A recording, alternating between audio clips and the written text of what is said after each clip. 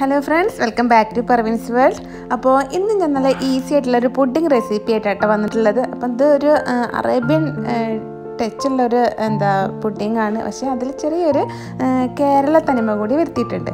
അപ്പോൾ ഇതെങ്ങനെ ഉണ്ടാക്കാൻ നോക്കാം. ഇതിനായിട്ട് ഞാനിവിടെ പത്ത് ബ്രെഡ് അതിന്റെ വക്കൊക്കെ കളഞ്ഞിട്ട് എടുത്തിട്ടുണ്ട്. അതവിടെ മാറ്റി വെച്ചിട്ടുണ്ട് കേട്ടോ. ഇനി ഒരു പാൻ അടുപ്പത്തേക്ക് വെച്ചിട്ട് അതിലേക്ക് രണ്ട് കപ്പ് പാലാണ് എടുത്തിട്ടുള്ളത്. ഈ ഒരു പാലൊന്ന് ചൂടായി വരുമ്പോൾ ഇതിലേക്ക് ഒരു അര കപ്പ് മിൽക്ക് മെയ്ഡ് കൂടെ ചേർത്തിട്ട് നന്നായിട്ടൊന്ന് മിക്സ് ചെയ്ത് കൊടുക്കുക. അപ്പോൾ ഏകദേശം ഒന്ന് തിളച്ച് വരാനാവുമ്പോൾ ഇതിലേക്കൊരു മൂന്ന് ടേബിൾ സ്പൂൺ പഞ്ചസാര ചേർത്ത് കൊടുക്കണം. അപ്പോൾ അത്യാവശ്യം നന്നായിട്ട് മധുരം വേണം കേട്ടോ. അപ്പോഴേ ഈ ഒരു പുഡിങ് നല്ല ടേസ്റ്റ് ആയിട്ട് വരുള്ളൂ. അപ്പോൾ പാൽ നന്നായിട്ട് കുറുക്കിയെടുക്കുക അപ്പോൾ കുറുക്കിയെടുക്കാൻ സമയമില്ല എന്നുള്ളവരാണെങ്കിൽ ഇതിലേക്ക് കുറച്ച് പാൽപ്പൊടി ഒരു ഒന്നോ രണ്ടോ ടേബിൾ സ്പൂൺ പാൽപ്പൊടി കൂടി ഇട്ടിട്ട് ഒന്ന് തിക്കാക്കി എടുത്താൽ മതി. ഇനി അത് അവിടെ മാറ്റി വെക്കാം. ഇനി നമുക്ക് വേണ്ടത് കുറച്ച് തേങ്ങയും അതുപോലെ തന്നെ കുറച്ച് അണ്ടിപ്പരിപ്പും കുറച്ച് ബദാമുമാണ് അപ്പോൾ ഞാൻ ഒരു ഒരു കപ്പ് തേങ്ങ ചിരണ്ടിയത് എടുത്തിട്ടുണ്ട്. അപ്പോൾ ഈ തേങ്ങയിലേക്ക് ഒരു ടേബിൾ സ്പൂൺ പാൽപ്പൊടിയും ഒരു ടേബിൾ സ്പൂൺ പഞ്ചസാരയും കൂടി ചേർത്തിട്ട് നന്നായിട്ട് മിക്സ് ചെയ്തെടുത്തിട്ടുണ്ട്. അപ്പം ഈ ഒരു മൂന്ന് മിക്സോടെ നമുക്കിതിലേക്ക് വേണ്ടി കേട്ടോ അപ്പോൾ അതുപോലെ തന്നെ ഞാൻ പാലിലേക്ക് ഇതിപ്പോൾ നല്ല ചൂടുള്ള പാലാണ് അപ്പോൾ ഈ ഒരു പാലിലേക്ക് ഒരു നുള്ള ഏലക്കായ പൊടിച്ചതും കൂടി ചേർത്ത് കൊടുത്തിട്ടുണ്ട്.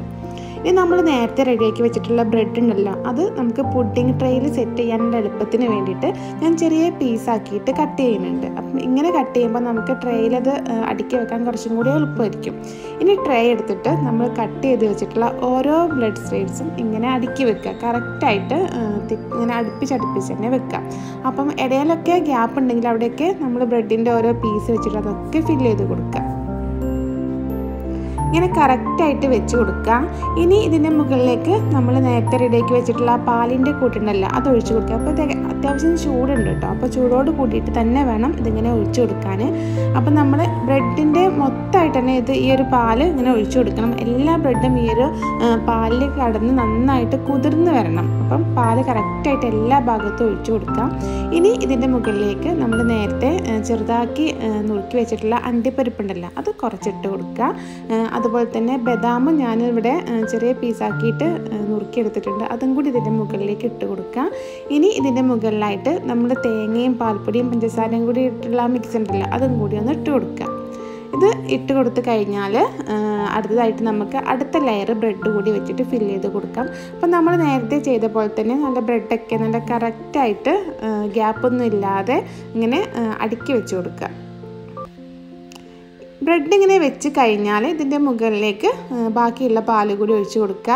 അപ്പം എല്ലാ ബ്രെഡിന്റെ മുകളിൽ നന്നായിട്ട് പാലൊഴിച്ച് നന്നായിട്ട് കുതിർത്തെടുക്കണം കേട്ടോ.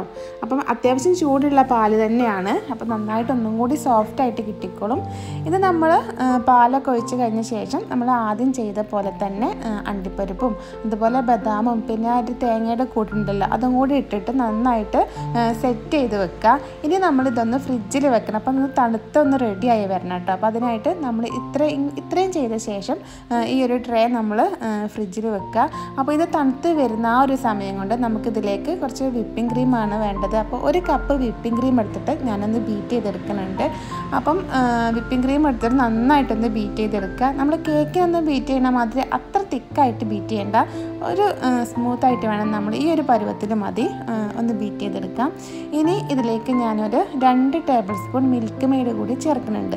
അപ്പോൾ വിപ്പിംഗ് ക്രീമിലേക്ക് ഇങ്ങനെ മിൽക്ക് മെയ്ഡ് ചേർത്ത് ബീറ്റ് ചെയ്യുമ്പോൾ ഒരു പ്രത്യേക ടേസ്റ്റാണ് കേട്ടോ അപ്പോൾ അങ്ങനെ വിപ്പിംഗ് ക്രീമിലേക്ക് മിൽക്ക് മെയ്ഡും ചേർത്ത് അപ്പോൾ ഒന്ന് ബീറ്റ് ചെയ്തെടുത്താൽ മതി. ഈ ഒരു പരുവത്തിൽ മതി. ഇനി നമുക്ക് ബീറ്റർ ഓഫ് ചെയ്യാം. അപ്പോഴേക്കും നമ്മുടെ പുഡിങ്ങൊക്കെ അത്യാവശ്യം സെറ്റായിട്ട് നല്ല തണുത്ത് കിട്ടിയിട്ടുണ്ട്. അപ്പോൾ അതിന്റെ മുകളിലേക്ക് ഈ ഒരു ക്രീം കൂടി ആഡ് ചെയ്ത് കൊടുക്കുക. അപ്പോൾ എല്ലാ മുകളിൽ കറക്റ്റായിട്ട് എല്ലാ ഭാഗത്തേക്കും ആവണ വിധത്തിൽ നമ്മൾ ഈ ഒരു ക്രീം ഇട്ട് കൊടുക്കുക.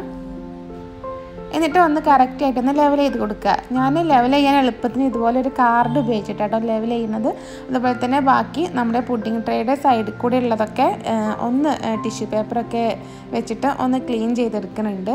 ഇനി ഇതിന്റെ മുകളിലായിട്ട് നമ്മൾ നേരത്തെ ബാക്കി ഉണ്ടായിരുന്ന അണ്ടിപ്പരിപ്പും പിന്നെ ബദാമും പിന്നെ അതുപോലെ തന്നെ തേങ്ങയും കൂടി ഇട്ടിട്ട് കറക്റ്റായിട്ടൊന്ന് ഫില്ല് ചെയ്തെടുക്കുക. ബാക്കിയുള്ള നമ്മൾ നുറുക്കി വെച്ചിട്ടുള്ള ബാക്കി എത്ര അണ്ടിപ്പരിപ്പും ബദാമൊക്കെ ഉണ്ടെന്ന് മൊത്തമായിട്ട് ഇട്ട് കൊടുക്കുക. അതുപോലെ തന്നെ തേങ്ങ ഇട്ട് കൊടുക്കുക. അപ്പോൾ ഈ ഈ ഒരു തേങ്ങയൊക്കെ ഇങ്ങനെ കഴിക്കുമ്പോൾ ഒരു പ്രത്യേക ടേസ്റ്റാണ് കേട്ടോ ഇനി ഇതൊരു മൂന്ന് മണിക്കൂറെങ്കിലും ഫ്രിഡ്ജിൽ വെച്ചിട്ട് നന്നായിട്ട് തണുപ്പിച്ചിട്ട് വേണം എടുക്കാൻ. ഇപ്പം ഞങ്ങൾ ഫ്രിഡ്ജിൽ വെച്ച് മൂന്ന് മണിക്കൂർ കഴിഞ്ഞു. കറക്റ്റ് സെറ്റായിട്ട് കിട്ടിയിട്ടുണ്ട് കേട്ടോ അപ്പം ഭയങ്കര ടേസ്റ്റ് ആയിട്ടുള്ള ഒരു പുഡിങ്ങാണ് നല്ല ഈസി ആയിട്ട് ഉണ്ടാക്കാനും പറ്റണതാണ് അപ്പോൾ നമ്മൾ ബ്രെഡ് അല്ലേ എന്ന് കരുതിയിട്ട് നമ്മൾ വലിയ മൈൻഡ് ഇല്ലാതെ ഇരിക്കും. പക്ഷേ ഭയങ്കര ടേസ്റ്റ് തന്നെയാണ്. അപ്പം മക്കൾക്കൊക്കെ നന്നായിട്ട് ഇഷ്ടപ്പെട്ടിട്ടുണ്ട്. നിങ്ങളൊന്ന് ട്രൈ ചെയ്ത് നോക്കുക വീഡിയോ കണ്ടിട്ട് നിങ്ങൾക്കിത് ഇഷ്ടമാവുന്നുണ്ടെങ്കിൽ ഒന്ന് ലൈക്ക് ചെയ്യുക ഷെയർ ചെയ്യുക. അതുപോലെ തന്നെ നമ്മുടെ ഈ ഒരു ചാനൽ സബ്സ്ക്രൈബ് ചെയ്യാത്തവരുണ്ടെങ്കിൽ ഒന്ന് സബ്സ്ക്രൈബും ചെയ്യാം. വീണ്ടും നല്ലൊരു വീഡിയോയുമായിട്ട് വരുന്നത് വരെ എന്റെ എല്ലാ കൂട്ടുകാർക്കും ഗുഡ് ബൈ